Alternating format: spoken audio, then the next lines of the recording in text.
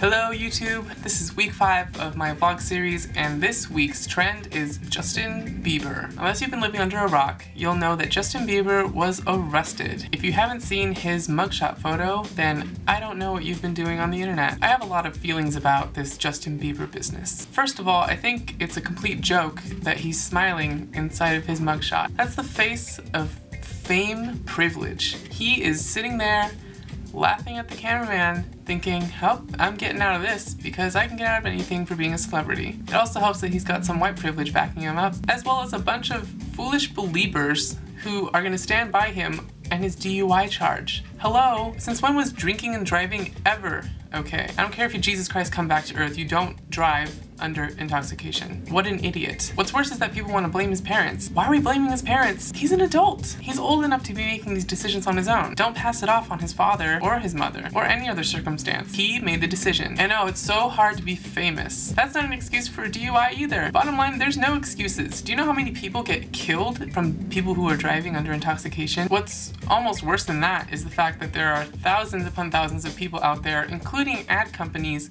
who are going to continue to stand by Justin Bieber. What you're saying as a company when you stand by someone who does something like that and gets away with it is that you're condoning that kind of activity. You're telling a bunch of kids that this is something that you can get away with, that this is something that's permissible and okay in society, and it's not. Are we forgetting that he could have killed somebody? I think that the worst thing about this whole issue is the fact that Justin Bieber made the news in such a big way. Justin Bieber's story was more out there than any of the stories that actually needed attention. There are things that happen every day across the entire world that have way more importance than Justin Bieber getting a DUI. I just really wish the American media would focus on things that are way more important and push those to the front instead of some 20 year old laughing in his mugshot over a DUI. I'd rather hear about the conflict in Syria. I would rather hear about almost anything else that matters than Justin Bieber. If everyone paid attention to things that actually mattered the way that they paid attention to Justin Bieber getting a DUI, then I feel like we'd have a way more informed society and things would actually get done around here. In fact, this week I was looking around on Tumblr and I found a great list of stories that are way more important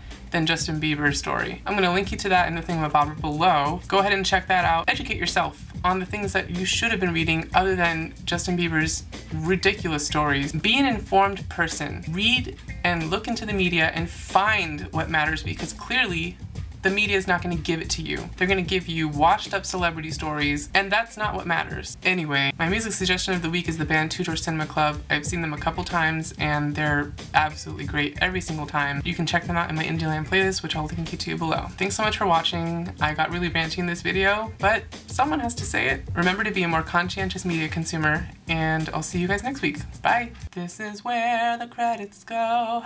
I don't know what else to say here.